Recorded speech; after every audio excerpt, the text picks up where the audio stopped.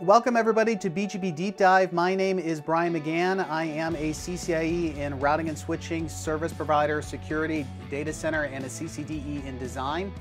For any questions on this series, you can email me at bmcgahan at INE.com. Follow me on Twitter at Brian McGahan or on linkedin.com slash in slash bmcgahan.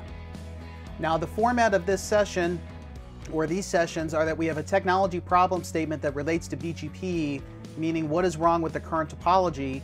Then we go through a troubleshooting method using show commands, using debug commands, and using packet captures in order to find the problem resolution. And then we talk about the technology within the scope of that particular problem. What, the, what are the different possible solutions that we can implement, and then we implement those on the command line. So for example, a sample BGP problem statement says that router 5 and router 6 are unable to exchange BGP updates. Find the problem and modify the network so that router 5 and router 6 have reachability to each other's loopback 1 interfaces via BGP. So the questions themselves are inherently vague, which means that we have to be able to have a structured troubleshooting approach to, uh, to find the problem in the topology. And we have to dive deep into BGP from the show commands, from the debug commands, and from a packet capture level in order to find what the problem resolution is. So I hope you enjoy BGP Deep Dive.